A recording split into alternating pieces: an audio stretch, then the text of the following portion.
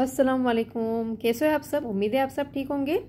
आज हम बनाने जा रहे हैं तंदूरी रोटी। आइए देख लेते हैं। यहाँ मैंने दो कप मैदा ले लिया है। दो कप मैदा 250 ग्राम है। एक चम्मच हम नमक डाल देंगे।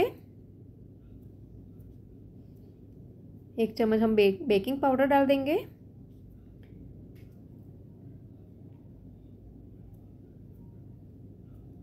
वन फोर्थ चम्मच हम खाने का सोडा डाल देंगे। और एक चम्मच चीनी डाल देंगे। इन सभी चीज़ों को हम अच्छे से मिक्स कर लेंगे। अब हम दो चम्मच दही डाल देंगे। दही को भी आटे में मिक्स कर लेंगे अच्छे से।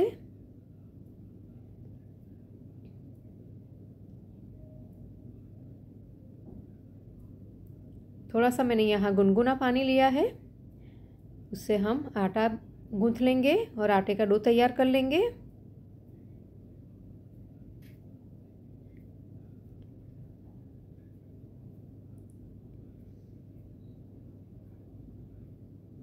ये देखिए ऑयल डालकर हम आटे को चिकना कर लेंगे और अच्छे से मल लेंगे।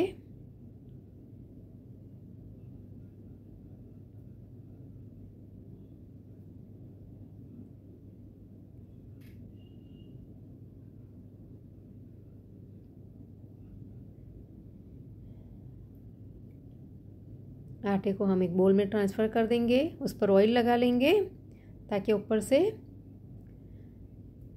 पपड़ी ना जम जाए। उसको कवर करके हम तीन से चार घंटे के लिए रख लेंगे।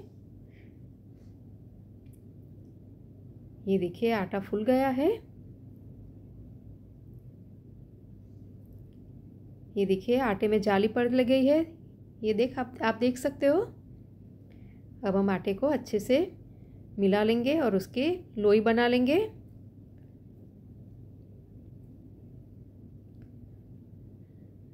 लोई बनाकर हम रोटी को बेल लेंगे। ये देखिए, इस तरीके से हल्के हाथ से हम रोटी को बेल लेंगे।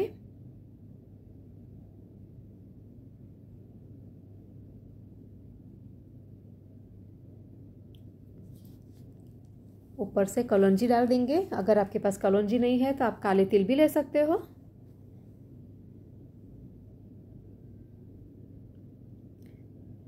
पीछे की साइड हम पानी लगा लेंगे और रोटी को हम तवे में डाल देंगे। इसी तरीके से मैं दूसरी रोटी भी बना लेती हूँ।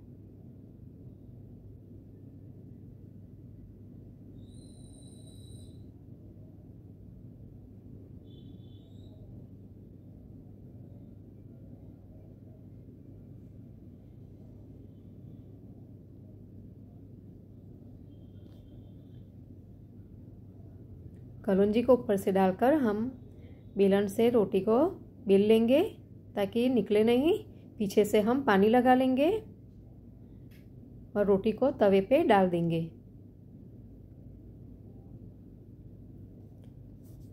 ये देखिए, नीचे से रोटी सेक रही है, ऊपर बबल आ गए हैं।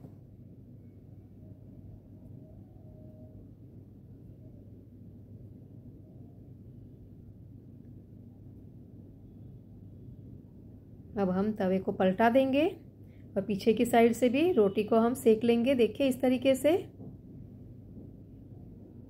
ये देखिए, आप देख सकते हो। ये तंदूरी नान हमारा तैयार हो गया है। ऊपर से घी या बटर लगा लेंगे।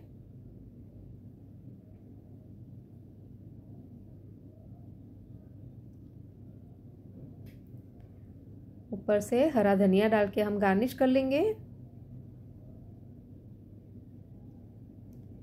देखिए, इस तरीके से हमने दूसरी रोटी भी तैयार कर ली है। पीछे पानी लगा लिया है ताकि रोटी तवे पे चिपक जाए। इसे भी हम पलटा कर इस तरीके से सेक लेंगे।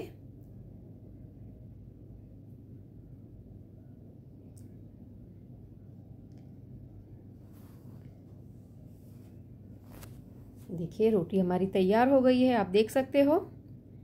बिल्कुल मार्केट में मिलती है, वैसी तैयार हुई है रोटी।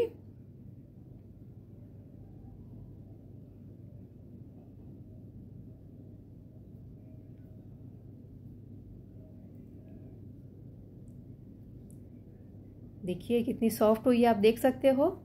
देख लीजिए। एकदम सॉफ्ट रोटी तैयार हुई है।